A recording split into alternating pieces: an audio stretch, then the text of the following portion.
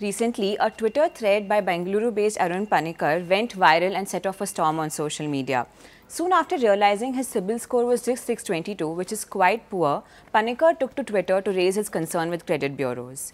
He was horrified to know that despite having zero debt or any outstanding payments on his active credit cards, his score was that poor. So what really went wrong with Panicker? Hi, I'm Disha Sanghvi from Mint's personal finance team. Joining the conversation is my colleague Neil Borate. On this episode of Why Not Mint Money, we'll talk about the various unexpected events that could dent your credit score and what you can do to fix it. So, Neil, um, what really went wrong uh, in Panicker's case?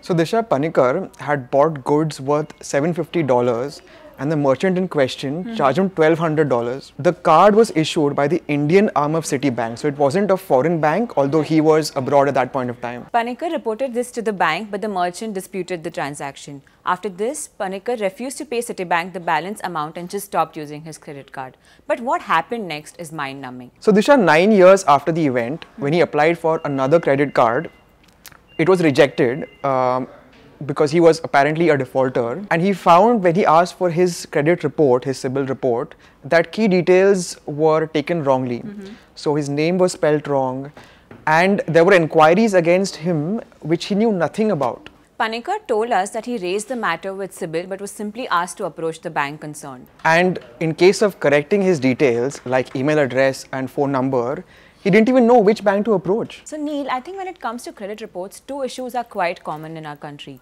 One is how disputed transactions continue to hurt borrowers even if it is the bank or the merchant's fault. And the second, which is the most common, is how incorrect information continues to reflect on the borrower's credit history forever. This is true. There was a flood of other complaints in response to Panicker's tweet. Mm -hmm. In Western countries, mm -hmm. credit history is wiped out after seven years. Right. In India, it persists indefinitely, hmm. although the credit score itself is drawn from the last four to five years. Sujata Ahlawat, Vice President and Head of Direct to Consumer Interactive at TransUnion CIBIL, said the late payment fees levied by the lender can lead to the principal outstanding amount snowballing into a much larger amount.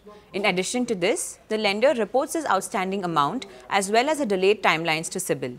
This amount appears in the days past due section of your credit history featured in your CIBIL report. Not only does this impact your score, but is also viewed negatively by other lenders, thus impacting your future access to credit. So Neil, now what's the solution to this? The practical thing to do is to pay up early because the longer the period goes on for, the more interest accumulates on the bank's end, right. the more approvals they need to settle the amount. And finally, it's difficult to predict how this event will finally look on the credit report and how it will impact the credit score. Hmm. Um, but what about somebody who's not in a position to pay the huge dues? So unfortunately, there's not much that person can do. Um, one thing that you can do is check your credit score and your credit report uh, regularly. Mm -hmm. You get one free credit report per year.